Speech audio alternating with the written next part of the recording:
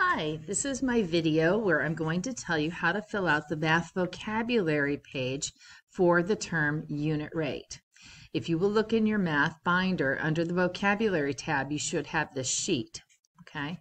If you don't have the sheet, you can, you know, if you're at home and you don't have the sheet, just take a regular piece of paper and kind of draw it or make sure that you at least have these four sections. All right. I'm going to make this bigger here so that you can I can have room to write and you can see it. All right, the term that we're going to be doing today is unit rate. So, my handy dandy pen out. And you're going to write the word unit rate here. That's what we're talking about. That's what section 1.1 is about, unit rate. Okay. Um, the definition for unit rate is a rate in which and this is the official back of the book definition, uh, the first quantity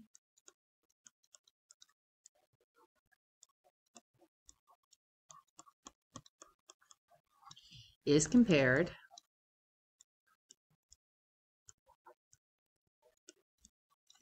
to one, you can write the number one, unit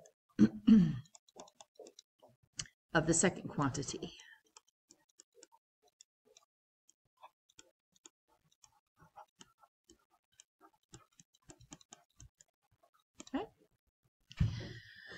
So, um, characteristics are drawing.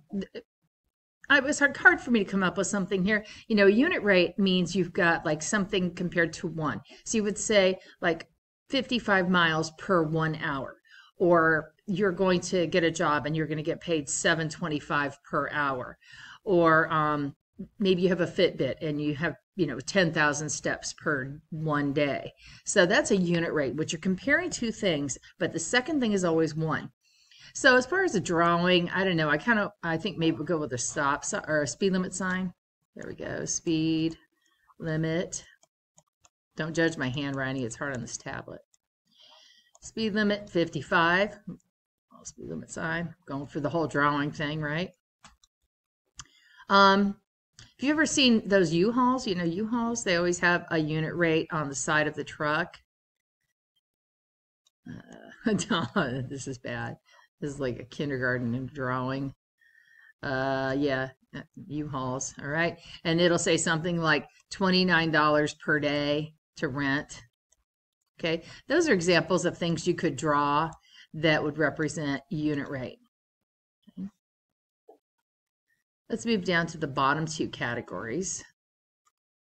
All right. Examples of unit rate. Well, some of the examples I was thinking of would be, of course, miles per hour. That's a big one. 55 miles per one hour. right? You could also have a rate of pay. You could have, oh, say $8.50 per one hour. Like I was saying, if you do steps and you're trying to get maybe 10,000 steps per day, per one day. Right? Um, what if you were buying, oh, say, green beans in the grocery store, and perhaps they run 50 cents per pound, per one pound. LB is pound. And this is the one here. Okay, those are examples of unit rates. They're all per one. Non-examples would be um, rates in which the second number is not one. So for example, if I know that someone can run, say, 70 yards in 10 seconds, that is a rate of 70 yards per 10 seconds, not one. So this is not a unit rate. All right. Or if, say, for example, you can get 10 pounds of potatoes and it's going to cost you $2.75 that is not a unit rate because the second number is not 1. Okay.